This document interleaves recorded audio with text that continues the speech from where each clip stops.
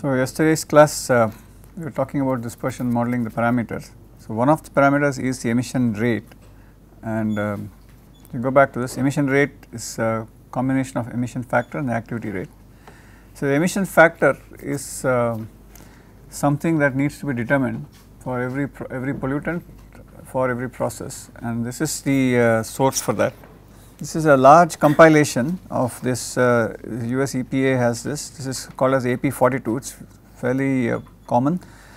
This is a compilation of one set of emission factors, but people are always deriving emission factors, measuring emission factors for various uh, uh things. For example, there are certain things that, that are here that are not used in India or in some other countries. There are certain things in India which are not used elsewhere. So, AP 42 will not have some of that.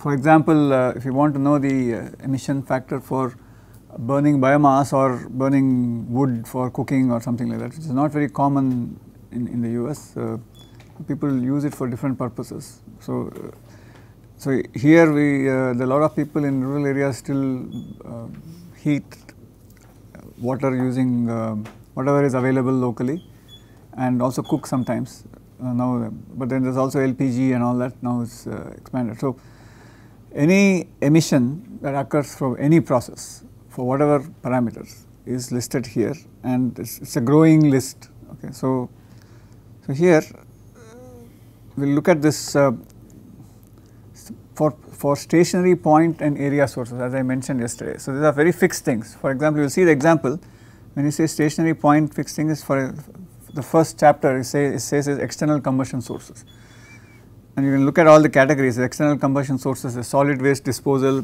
stationary internal combustion sources, evaporation loss sources, petroleum industry, organic chemical process industry and so on, it keeps going, greenhouse gas biogenic sources and so on. So, it, so take a look at the first one, external combustion sources. So, in this there is a large set of categories, you can see it keeps going, it is about 11 categories.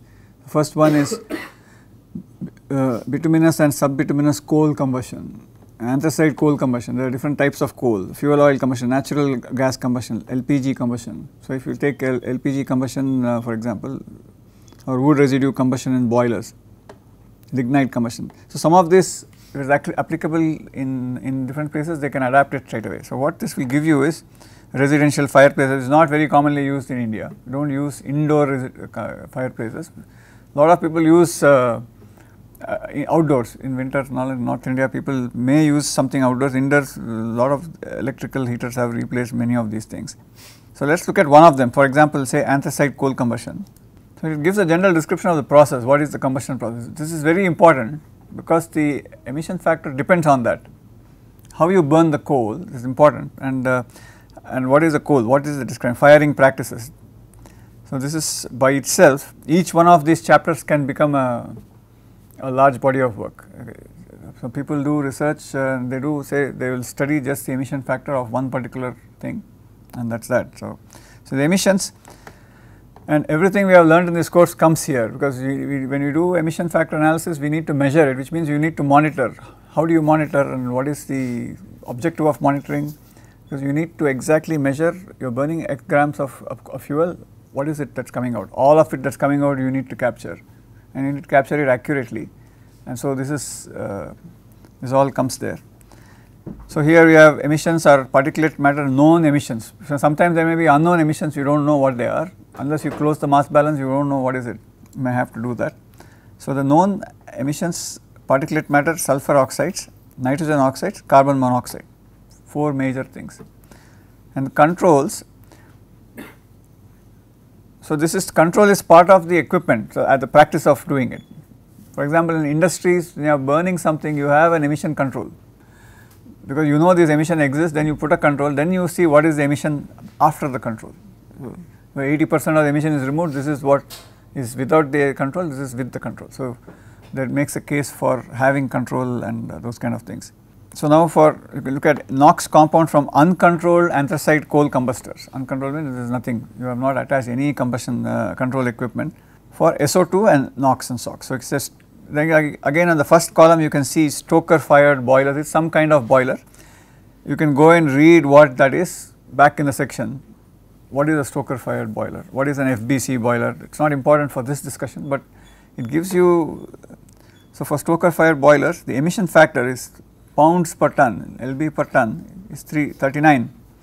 This S and B uh, refer to some weight percent sulfur and all that. So, okay, so 39 pounds per ton of coal combusted and NOx is 9 pounds per ton. So, this is a number yeah, but you have to remember that based on our quality control thing this number is a single number it does not have plus minus something usually it will have something. So, they are reporting average numbers and this you can use this as a guideline okay, um, for uh, designing. So, so on. So, if you keep going further down it says carbon monoxide and carbon dioxide. So, even though carbon dioxide is not a pollutant in the classic the sense that we are talking about, but it is still listed because now it has become an important uh, um, emission fact. People want to know how much carbon dioxide is coming out and there is particulate matter PM, filterable PM. So, the definition of filterable PM is given in the document it's PM10 sometimes it's listed as PM10 which means you are using a PM10 device to collect what is coming off. So, which means it is PM10 so PM2.5 and so on. So, you can collect whatever you want and that becomes an emission factor for that particular process. So, in the dispersion model you want to get, get emission rate you say I am going to use I am going to find out the emission rate for coal combustion you need to know the emission factor. All the information for emission factor you need to gather and then find the emission factor from a source like this and then find out how long are you going to operate it, operating at what activity rate 1000 tons per day or and that is the rate at which it is going. If you are going to do dispersion model for 1 hour then what is the activity rate for 1 hour and what is the emission rate in that 1 hour has to be estimated. There are a few other things then there is emission factor controlled mass okay these are some other things that are listed here and so on. There are a few other compounds other than the priority pollutants there is acenaphthene, naphthene, anthracene, the PAHs, a few other things. So, people have found out uh, these things. Okay. So, this has to be done one people do this under experimental conditions where they will burn a certain amount of thing, collect everything. Sometimes they want to do it in the uh, in the real scenario which they will go and measure the actual emissions and that is very tricky to do. With measurement of actual emissions it's in the open, exposed to air and it's difficult to measure that. So, that there are ways of doing it, but it's, uh, it's filled with lot of uncertainties. So, there are other things people measure, so entire thing. So, you get the idea of how, uh, so you can have any number of sections here. So, this is just one set of things. This, this is point sources. There is another large uh, set of um, emission factors which are from vehicles. The vehicles are considered as part of a line source. So, there are roads which are full, full of vehicles. So, emission is occurring from a main highway, major highway or a city road. So, you need to know how many vehicles are there and each vehicle has a certain emission factor. Okay. So, again you can imagine the emission factors for vehicles, how the uh, see this uh, list of emission factors that you are seeing, this is uh, CO2, this is for CO2, but you can do this for other the other pollutants that we are interested in. So, this is small type of car. The problem here in vehicles is you have to, there are large category of vehicles. This uh, the, the category of vehicles say cars for example, say 800 cc cars, there are 1000 cc cars, 1400 cc, big ones, 2500 cc, 3000 and so on, it keeps going and they are fuel, gasoline, petrol. Sometimes some of them have CNG, some of them have LPG, some of them have diesel and uh, there are different kind of engines for each kind of fuel and each kind of fuel composition is different. So, when it combusts its emission is different.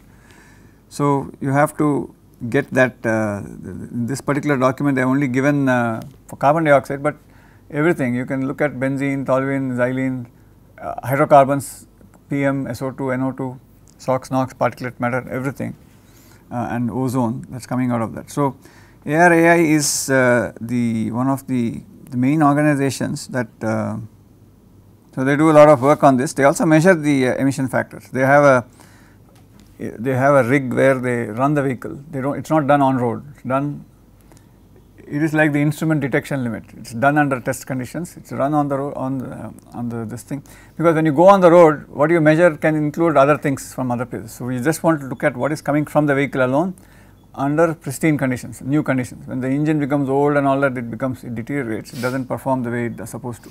Okay.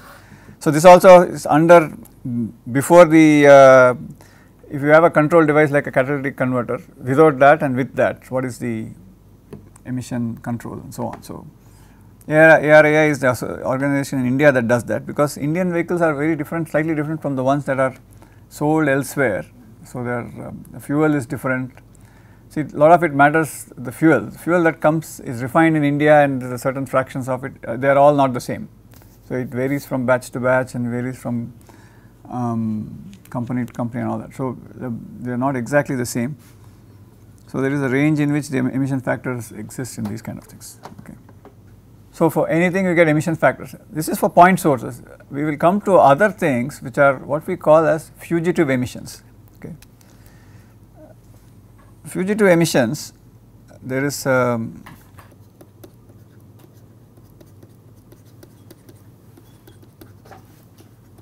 these are unplanned emissions. So these fugitive emissions are, uh, as the name suggests, fugitive means they are escaping. Escaping means, for example, there is a pipeline they are supposed to carry some gas, some, fuel, there is a leak. There is a joint and there is a leak here. That is a fugitive emission. That is fugitive emissions. Okay. So these are the things like for if you have a you have a gas tank or a gas pipe, they are leaking. You always see things are leaking. If you go to industry and all that. So these are fugitive emissions, and people try to estimate fugitive emissions. Okay. So, this estimation of this is again not easy, depends on uh, several things. So, there are people have developed equations to find out so the pressure of the gas is this much, ambient temperature is this much, temperature is this much, what is going to be the estimated uh, release through uh, some of these things. Okay. So, those are something else.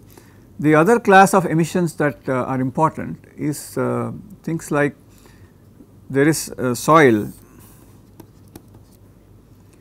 or there is water, some surface, some natural surface which contains a chemical. So, we have Rho A 2 in water or WA3, soil is polluted or water is contaminated. There is going to be a, a release, an emission into air. For example, if soil is contaminated, what is the air pollution impact of that? So, that requires there is not a point source, it could be an area source, could be what, what we call as a volume source but the, the, the way in which we determine the uh, Q for that is by estimating the flux multiplied by the area and the estimation of this flux here requires you requires information of the, the mechanism by which it happens is the convective or diffusive mass transfer flux. So, that entire section we will do it uh, in the next section of this discussion after we finish dispersion uh, as interface mass transfer uh, problem. So, we will talk about that separately and there is a large uh, section of problems in that it relates to interface uh, mass transfer from different phases not just to air, but it gives you a context in which why we are doing that since we know this. So, say if we want to estimate what is the effect of uh, an oil spill in water, air pollution impact. So, some, some, some tanker has overturned into a river or a sea or a lake, what is the air pollution impact immediately. So, you have a lot of uh, oil sitting there and it is going to evaporate and what is the, so this is now a source and you can apply the dispersion model to this source, but to estimate Q you need to apply those equations to get estimate. So, each one of these terms in the, uh, uh, in the uh, dispersion model you have to, we talked about 5 these parameters, each one of these parameters you have to estimate it independently and then plug it into the uh, dispersion model to get rho AY. So, what we how do we apply this? Um, so, there is one more this is incomplete there is one more addition to this. So, normally when we are looking at this uh, plume we said that the plume is at a height h from the ground right which means that at some point it is going to hit the ground if it is spreading like this. So, what happens when it hits the ground? How the ground is rigid. So, most of the plumes will reflect back into the surface. So, what will happen is this you are expecting a, a profile like this okay you are expecting a Gaussian profile like this where is 0 at one end of the plume and in the middle it is the highest concentration. But when the plume reflects what you see is that this, this end has some additional concentration because this reflected plume is now adding on. So, this plume is now is supposed to go here, but it has nowhere to go. So, this entire mass adds on to this section. So, it is a little more complicated than this, this is a very simplistic way of doing it. When it reflects, it does not go back in the same velocity and all that, there is a loss of energy and all that. And the plume itself may, some of it can get absorbed whatever pollutant is coming can get absorbed onto the soil surface and nothing air may go back but the pollutant may not go out. So, but not considering all of that just uh, assuming that all of it bounces back and mixes with the rest of the air coming in. So, there is a, there is a plume that is naturally coming into this direction and this and this adds to that and therefore, you see that there is it is not symmetric anymore. Uh, this, this part is nicely Gaussian uh, normal distribution, but this part is slightly more because there is this is what is the original one and then there is a small additional contribution coming from the reflected plume. Okay. So, how do you incorporate this into the dispersion model? Uh, people have done something very smart about this, a simple uh, this thing is that they imagine there is a second source which is below the ground minus h and it keeps going and it is the same height. So, this plume whatever is being reflected it is the same volume that is being uh, added here. So, what we are doing is we are adding the contribution of two sources, one which at a height h, the other one at height of minus h. Okay. But this the contribution from the second one only comes into play after we cross this point. Till that point we are not even measuring this. How do we measure the concentration of this one? I have to measure rho a1 x, y, z, h but the z now has to be minus 10 meters then I will be able to calculate that. But I am never going to calculate minus h minus 10 I am not interested in minus 10 because it is an imaginary plume it is under the ground I do not care what happens to it. I am I am only going to be interested in something above the ground all z is always greater than 0. So, at a point when this reaches this point it now becomes it has a concentration that is positive above z equals to 0. So, at that point it will add this will add to whatever is being contributed from this plume. So, the second plume will add on to the first plume only after this point. So, it adds on. So, essentially what we are doing is we are, so this one thing about the Gaussian plume dispersion model is it is additive in the sense that I can add uh, I can add contributions. I have 10 sources. I can add the at a particular location I can just simply add contributions from all of those sources. Okay because just like this and we will see that later. So, this is unreflected plume this is one just from the top okay. When you when you do plume with reflection you add one more term here. This z component you add one more term here exponential of z minus h plus plus exponential of you are essentially adding two things. You are essentially adding this plus q by 2 pi ux sigma y sigma z exponential of minus of half y square by sigma y square plus z plus h square h square sigma z square. You are adding this another, this is another source.